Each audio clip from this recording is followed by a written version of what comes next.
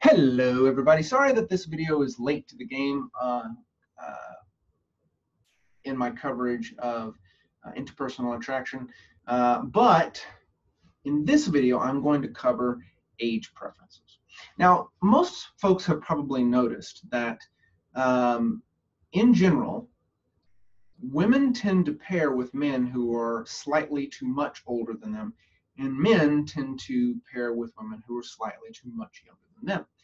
And you know, certainly people who uh, you know don't know about many other cultures, you know, they they get this impression. Well, that's just America for you. You know, men in America just want uh, you know young brides. well, it's not just an American thing. In fact, it's a worldwide thing. All right, all around the planet, and this has been established uh, with research examining all of these countries. All around the planet, men tend to be older than their uh, than their husbands tend to be older than their wives, um, and that age difference, the the worldwide average is about three years. So on average, around the planet, men tend, tend to be about three years older than uh, their uh, wives. Um, but it can range widely. There are some countries where the age difference is, I think, a year or under, and some where it's as high as I think 11 years or more. so it can uh, range widely, but the average is about three years. Now, why is it that across the planet and across culture, all right, where you know different things are emphasized, why is it across cultures men prefer younger people or younger uh, partners, whereas women prefer older partners? Well, one common argument is that well, it's because uh, women mature faster than men, and so they want uh, to be with someone older than them so that they can be with a mature partner. And that's that is an argument that I commonly hear from my family, my friends who aren't psychological scientists. Um, it's a common idea.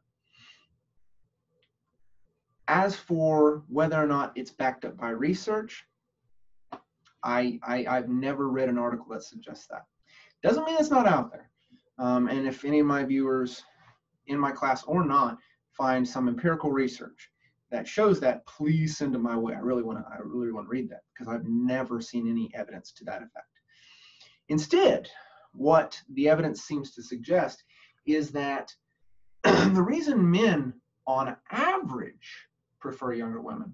Has nothing to uh, do with uh, maturity and on average the reason men don't or women don't uh, the on average the women on average the research suggests that the reason women prefer older men is not necessarily maturity but in general resources okay? So let's talk about this. Now I've talked about this in other videos, but in general, men and women have different adaptive problems. They have different challenges facing them in reproduction. Women have the problem of parental investment. They're more biologically invested in their offspring. Even if they abandon their child at birth, they're more invested in the rearing of that offspring than men are. Men are have a, a, very different problem. They have the problem of parental certainty. Until very recently, where we have parental tests, uh, paternity tests, up until that point, we men were never 100% certain that they were the father of their child. And even with those paternity tests, they are not without flaw. So even then, there's a small degree of uncertainty. So men are never 100% certain that they are the father of their children. Now, these two things create problems. According to sexual strategies theory, this is what supposedly leads men to prefer short-term mating strategies and women to prefer long-term mating strategies. Women don't want to get into short so sexual strategies theory argues that because women are more invested, uh, pairing with a partner very briefly might lead them to be pregnant with that partner's child, but then they leave and then they're left to uh, take care of the child all by themselves. And obviously, caring for the child and accumulating resources simultaneously is harder to do, which is thought to be part of the reason that delayed developmental period is thought to be part of the reason why men, why humans pair in the first place, uh, or at least it's part of the reason. Um, that do, our babies take longer to become independent, and so because taking care of a baby and acquiring resources at the same time is harder, we pair up to do the job together. Now, um, Men, on the other hand, because they're never 100% certain of their paternity, if they heavily invest in one woman and that woman cheats on them, they're screwed. Because if they never find out, they they've invested all their time and energy into help into helping the offspring of another man. If the woman cheated on him, all right, and got pregnant by the other guy.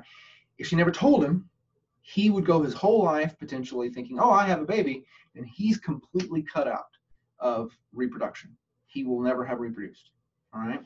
And so sexual strategy theory argues that that's why men prefer short term mating and women prefer long term mating.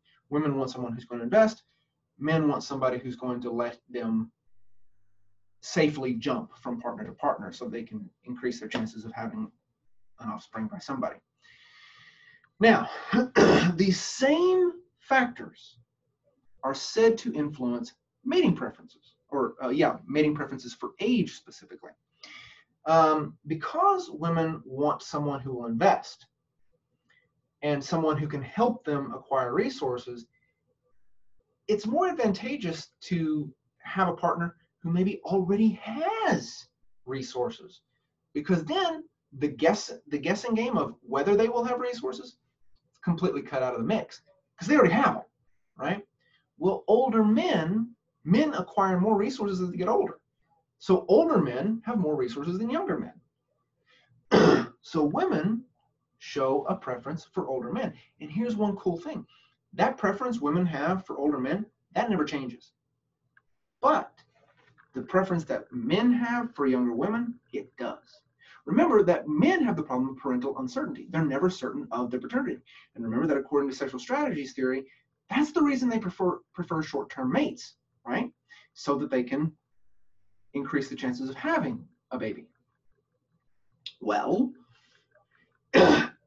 because they prefer a short-term, because the whole reason that they even have a preference for a short-term short-term mating is because they want to increase the chances of having a mate, an, an mating with anybody indiscriminately doesn't help them ensure that, that they will have a baby. Specifically, they need to tailor who they're mating with. They need to mate with women who are more likely to actually have a child.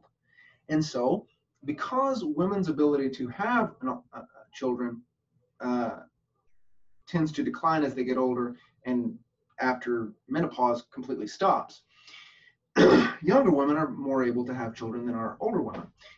So the argument is that this is why men, on average, tend to prefer younger women. But, and here's the cool thing that I was mentioning earlier: men don't actually prefer younger women across their whole lives. Women prefer older men their whole lives, but men, they don't. In fact, when men are younger, like in their early teens and teen, uh, early, uh, in their teens, not just not just early teens, in their teens, men tend to actually prefer older women. Teenage guys tend to like the college girl. College guys tend to like the college girl. And then older men tend to like uh, the college age girl. And then as they get older and older and older, as men get older and older and older, their preference gets younger and younger and younger. All right. So it appears that men's age preference is anchored to went to the age at which women would be more successful or most successful at having children. Um, that quirk is just cool to me. So you may not find that cool, but I think it is. But I'm a dork. I'm a, I'm a dorky uh, student of human behavior. So there we go. In this video, we've talked about um, differences in age preferences. Women prefer older men across their lifespan. Men prefer uh, older women when they're young similarly aged women when they're in about their 20s, and then younger and younger women as they get older. And we've discussed reasons why. In our discussion, we talked about sexual strategies theory, and we talked about long versus short-term mating. Long-term mating, because I don't know that I ever actually gave an explicit definition. Long-term mating refers to when you want to enter into a committed relationship, or at least a relationship that lasts for a while. Short-term mating is, you can think of it like a hookup, all right, or a casual fling.